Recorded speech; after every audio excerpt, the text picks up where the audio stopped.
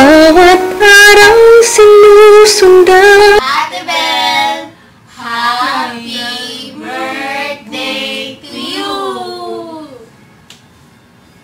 Three. Ate Bell, happy birthday to you!